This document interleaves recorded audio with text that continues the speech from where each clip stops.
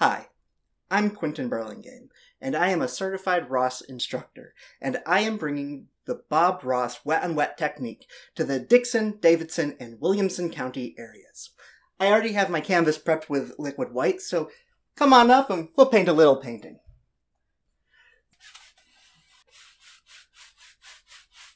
The Bob Ross Teacher Certification Program is taught at the Bob Ross Workshop and Gallery in New Smyrna Beach, Florida.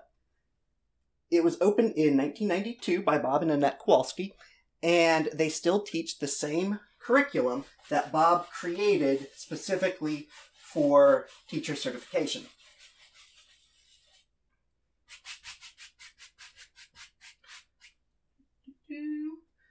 I thought today we'd make a real bright, pretty sky.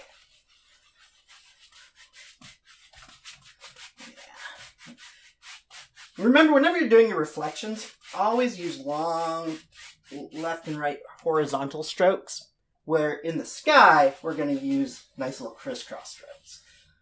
Bob always called them crisscross strokes. They're more like figure eight strokes because you don't want to leave marks on the, on the canvas. I'm going to some bright red.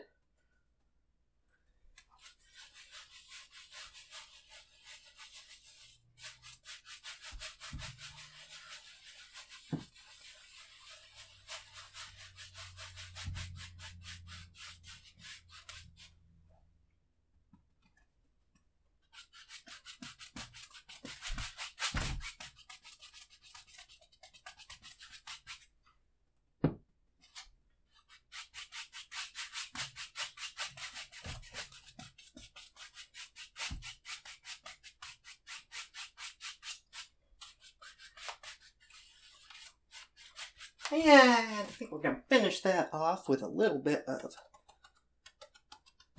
phthalo blue. It's a nice, bright, pretty blue. Blending that in with that bright red, but being very careful around that yellow.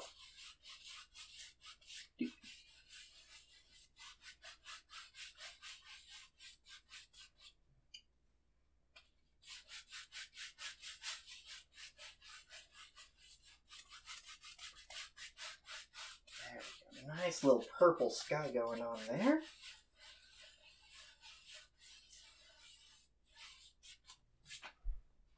Like in the air, like in the sea. I don't know if that's a saying, but it is now. Is it? I don't know.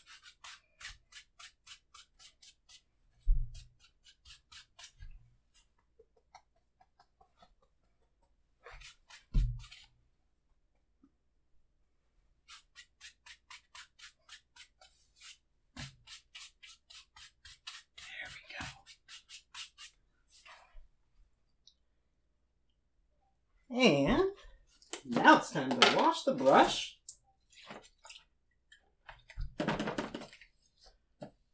Wipe off all that excess. Give it a good shake. Beat the devil out of it. All right. Now, we're going to blend over this whole thing, starting in the light area. Very, very gently. Going across the whole thing.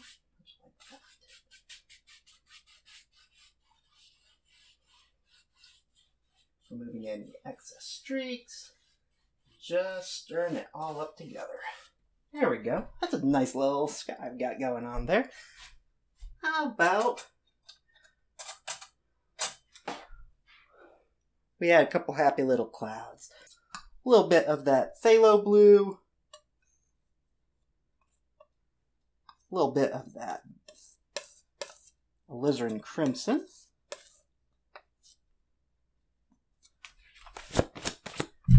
Dull that down with some titanium white.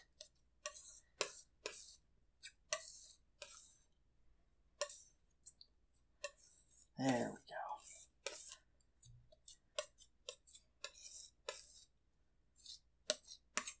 nice little lavender color. I think we to go a little more red with it.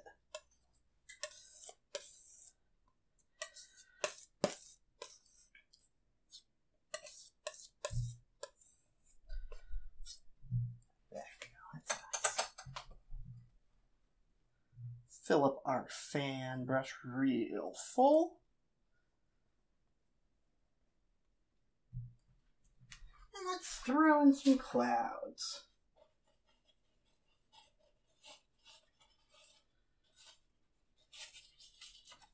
Maybe something like that.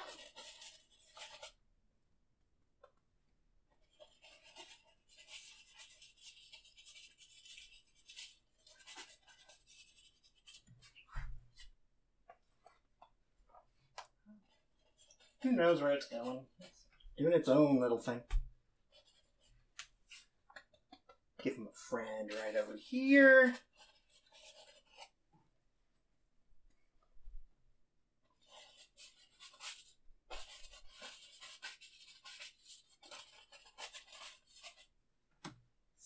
Something like that. We're gonna blend this all together.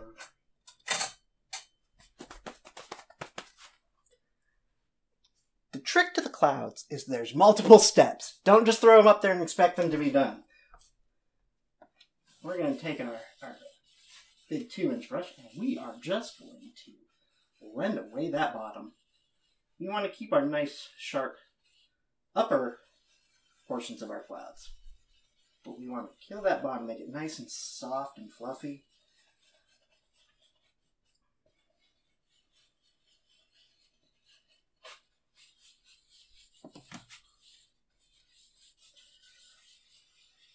Something like that. Then, to fluff our clouds up, make it a little bit less thick in the paint. Two hairs and some air. Knock that down, just like that. And finally, we're going to brighten them up. We're going to come in with some just almost pure white. Maybe a touch. Touch of the cadmium yellow to brighten them up. Counter that deep purple underneath.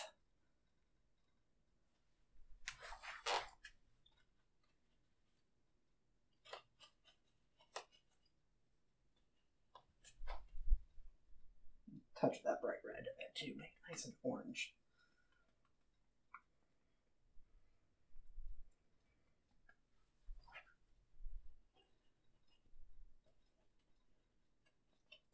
We're really just kind of squishing this paint on there, making it nice and thick, nice hard upper edge.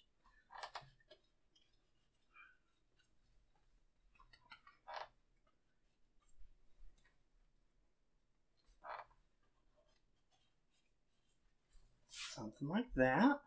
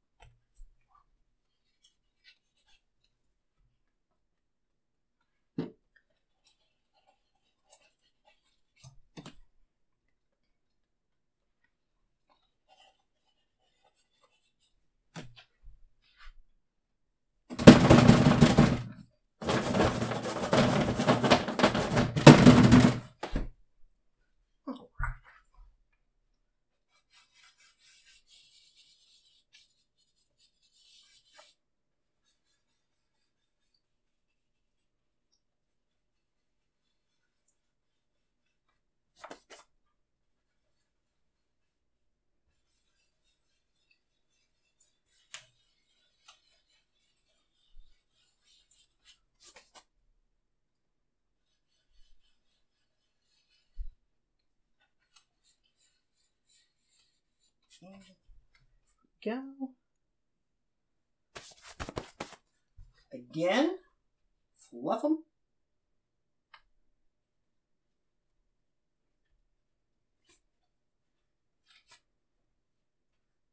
There, gently. Got quite a bit of little wispies going on, but that's okay. We're gonna knock them down right here.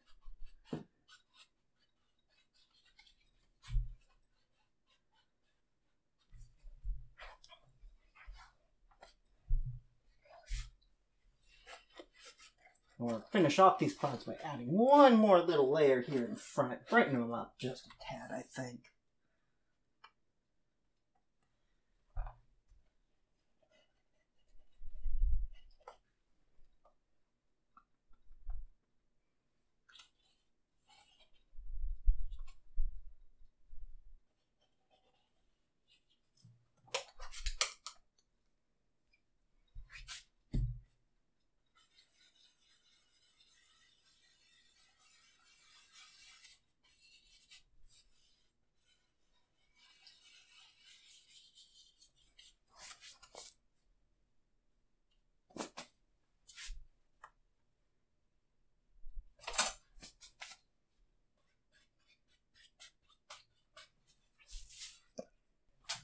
Mountains are one of my favorite parts, using that palette knife to just stick them up there.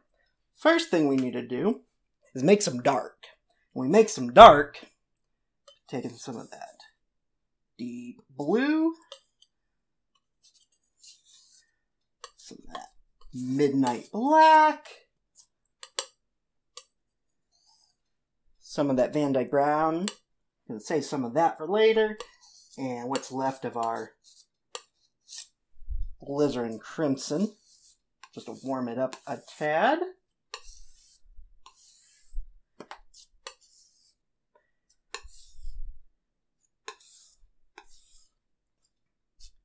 And there we go. I think we have dark. And then we just cut across after it's nice and thin. There we go. Nice little roll on there. And I think the peak of my mountain is going to be right here.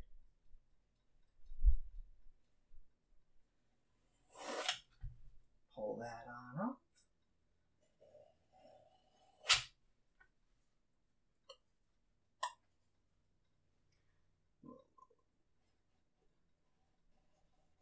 Keep right in there. I think.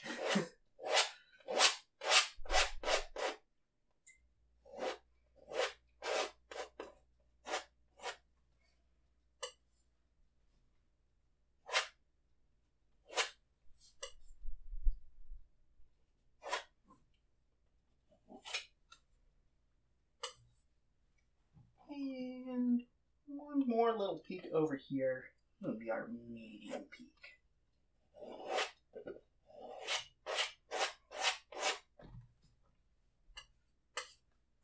With our big peak a little bit.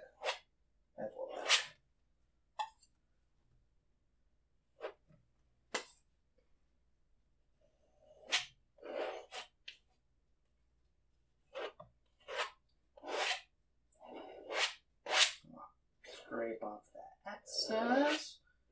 Don't want any of that up there gumming up the works.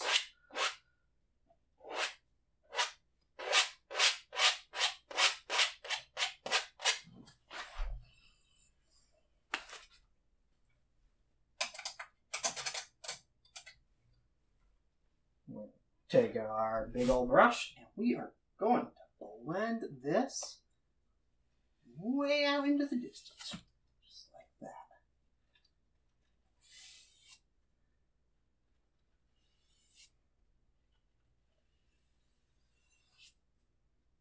Our closest peak last.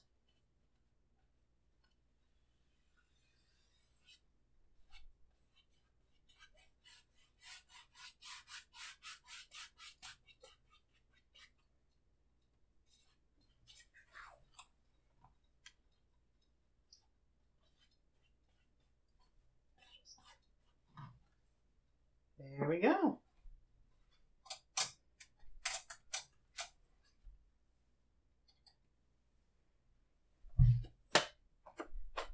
Time to throw on some snow.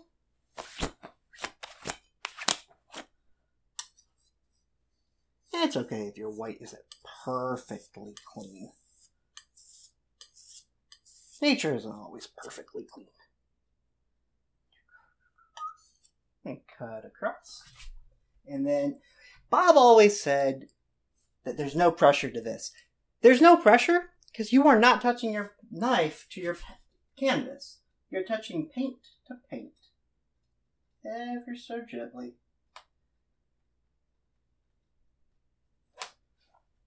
Like that.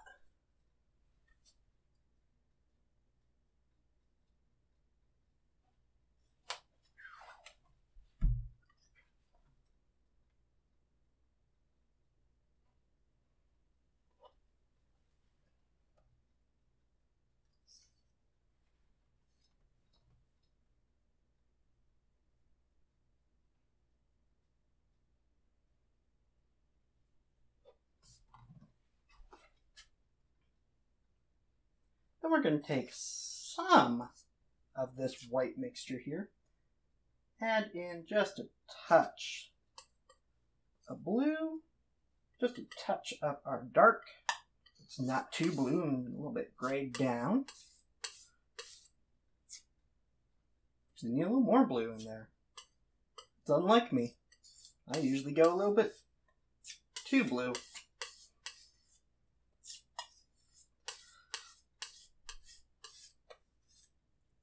There we go. This will be our shadow snow. Cut across. We're gonna put just here in the corner right there. There we go. Looks good.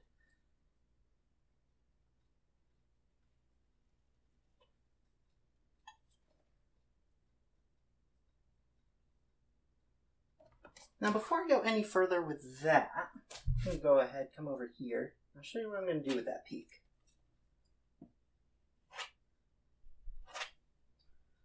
We're actually going to grab more of our original white highlights now.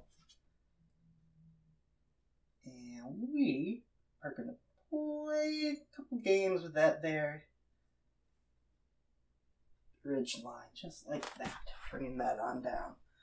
Of course, anytime you've got a new little highlight, it needs its own little private shadow.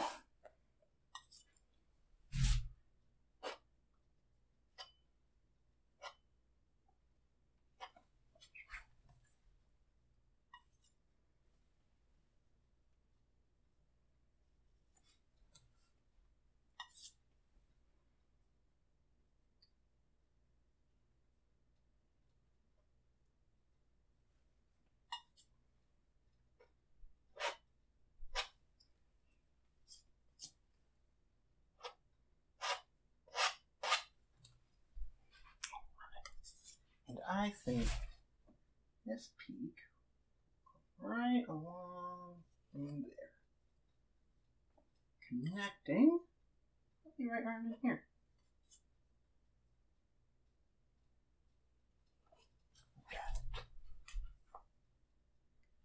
Drift off in the distance. I'm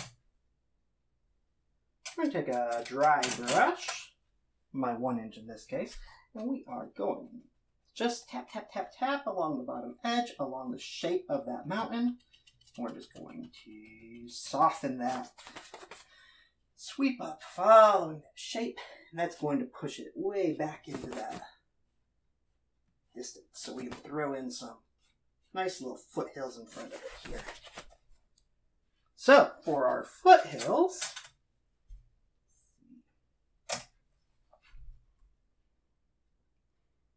we'll take just a little bit of our dark from earlier. And we're going to mix it in with our blue, purple mixture from earlier.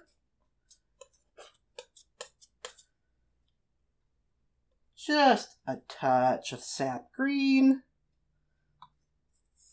A little more white in there.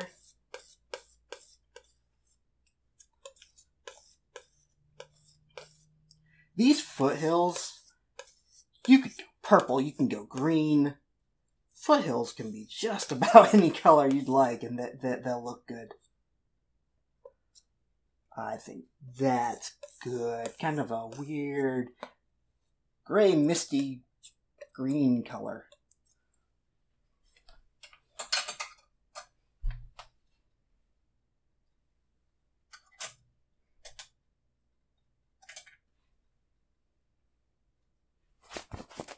Think I'm going to use my 2 inch brush.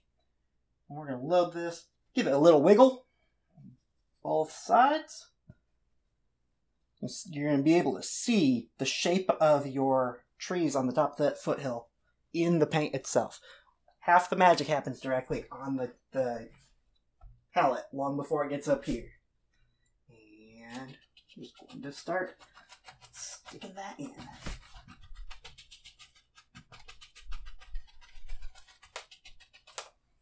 Something like that. We'll throw in a, another one coming in in this direction.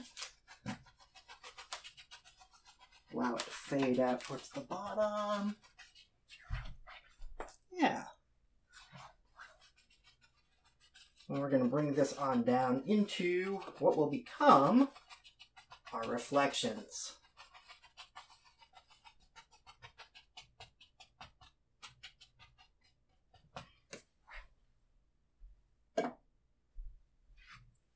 And I think I can clean my brush again.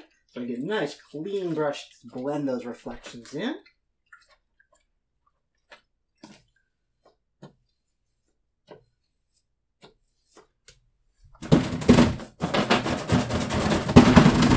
Beat the devil out of it. All right. Pull reflection straight down. And then straight horizontal. Just like that. And then, this is one of my favorite little parts of this technique. We're going to do this with liquid white. Liquid white is the same stuff we use to coat the canvas with and is a thinner white. Our regular titanium white is very, very thick. The liquid white is very, very thin.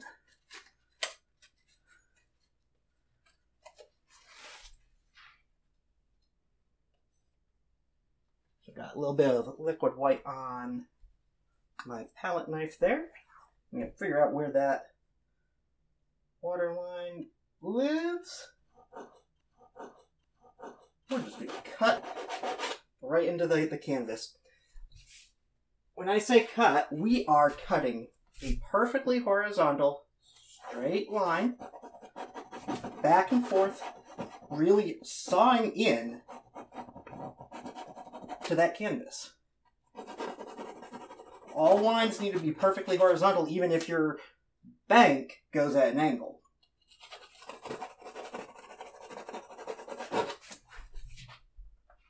There we go. A couple little ripples in there. I think I'm going to put more ripples right in here.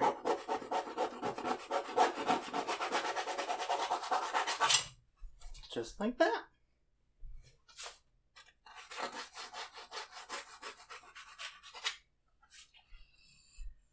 All right. No painting is complete without a tree. I think I'm going to put a nice big old tree living right over here. So, to do that, we're going to take our dark and our sap green, and we're going to make dark green. The green really doesn't even matter that much at this point. Because the shadows in the tree is just dark.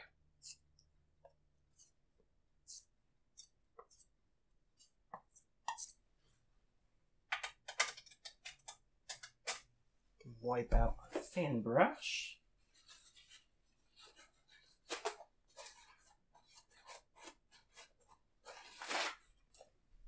Load her up.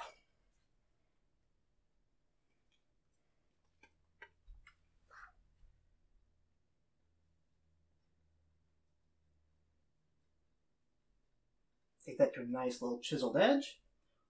Figure out where we're going to put the peak of our tree in right in there.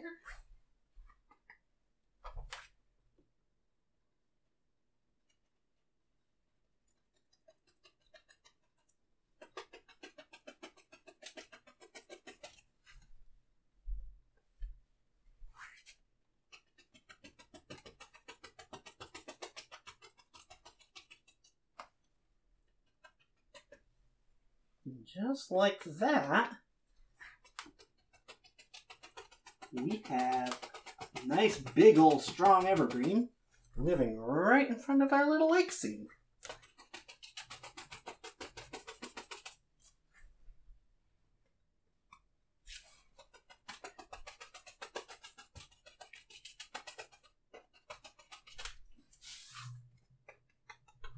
These trees eat a lot of paint. That's okay. It's better to have the right amount of paint than not enough paint. That's the biggest mistake most everyone makes when they first start out is not enough paint. And those nice little reflections I added are going to go away. That's that's probably the hardest first lesson I learned learning this technique is don't get attached to anything because it's probably going to get covered up. We don't know. Change your mind halfway through a painting. Now, I'm going to throw in some bushes around here in the foreground, kind of ground him. We're going to do that by pulling our one inch brush through that same color one direction. We're going to use that new rounded edge, and we're just going to stamp in shape of some bushes. Right down in here, we just want it dark. We don't really care all too much about what's going on down here, as long as it's dark.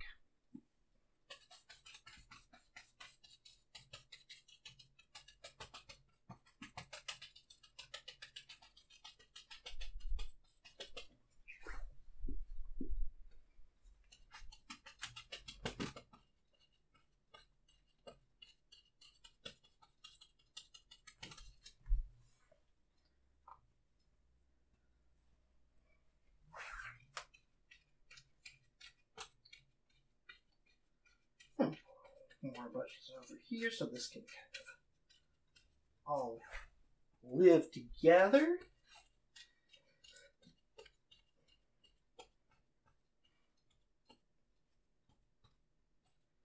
Now there's one thing this tree is missing before we can ever think about doing any highlights. He needs a friend. So let's add a couple little friends in here. I'm thinking a nice little one right over in here.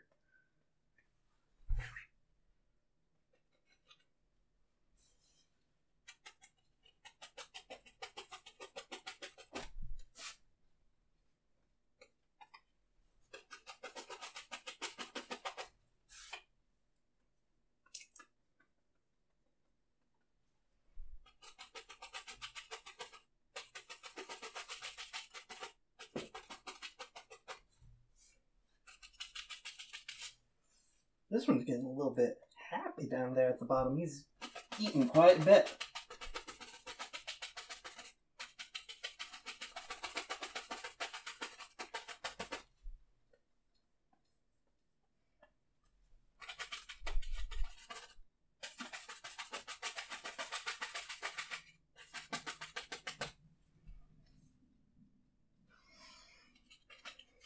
Dark along the edge. And I think we have one little one right over here hiding off to the edge.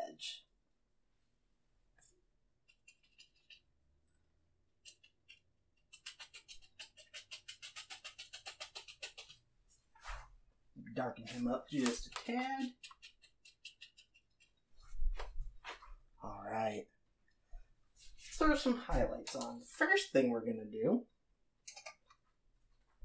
is we're going to make some trunk color. Van Dyke Brown and a little bit of that burnt sienna. Oh, art. And a little bit of white. And a little bit liquid white. And we're just going to marble this one. We don't want this one a real solid color. The peak of each of these, we're to slice upwards, creating a nice little sharp pointy peak. Get a little roll of that, and just ever so gently, we're to throw in a little trunk.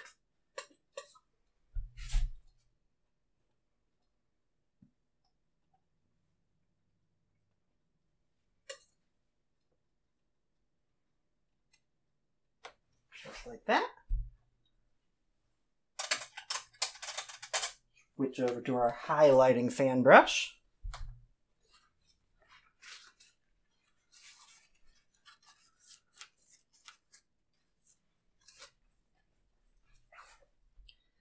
And with just a touch of the green, just a touch liquid white, we can come straight into cadmium yellow. Fill that brush up nice and thick. Say thick. Cadmium yellow is a thin color, and we wanted to thin it a little bit more so that it sticks right on top of these trees. You get it thin enough, and that canvas will just take the paint that it wants.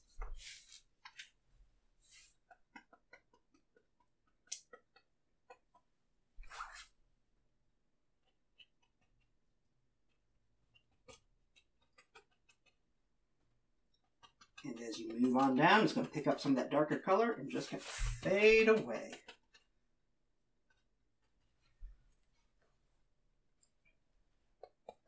Load that back up.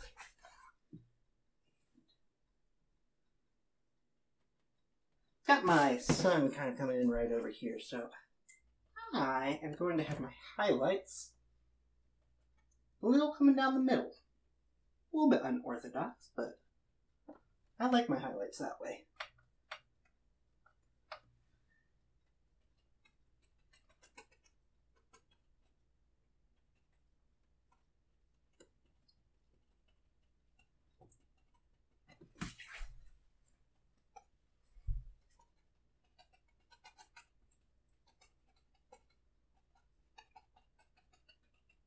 And finally, our little friend hiding back there in the corner.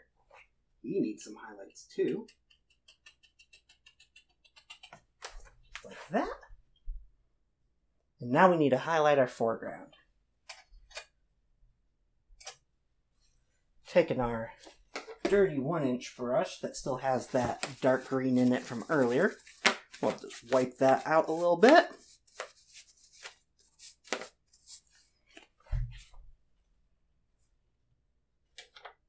Touch of the liquid white.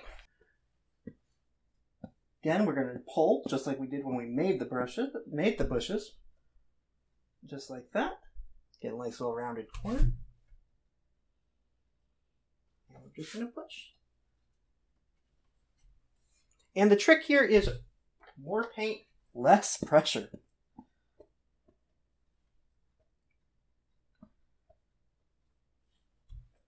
It's not working right, you probably need more paint.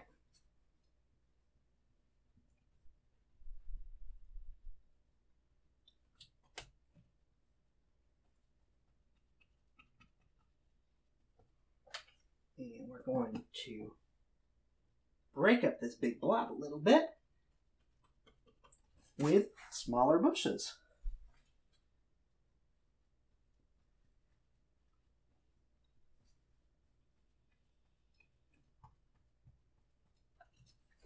This is a technique that takes a lot of practice and is definitely not one of my strongest suits, but I'm getting better. Each time I do it, I get better and better and better.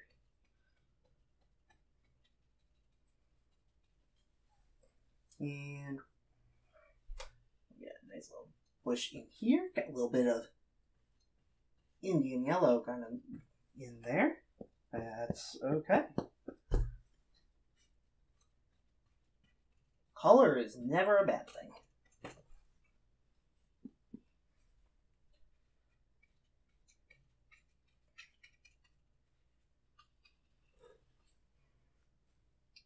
And rather than just filling this all in with bushes, because that's boring, I'm going to use the same technique we used for our foothills back there.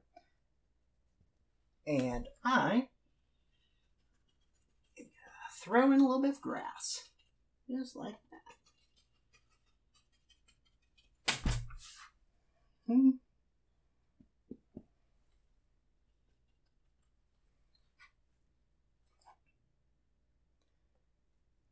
And just because it's fun to add a little bit of variance in there.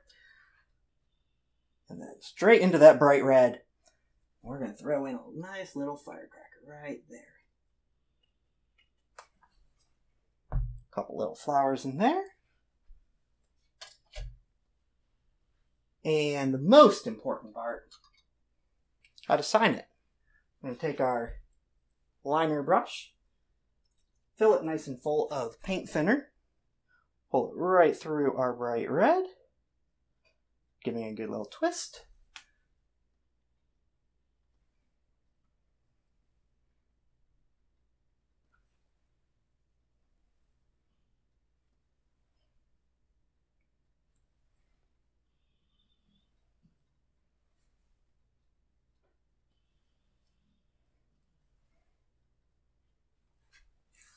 All right.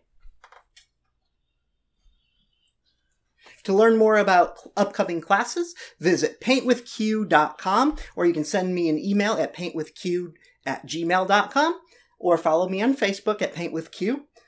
Till I see you again, happy painting.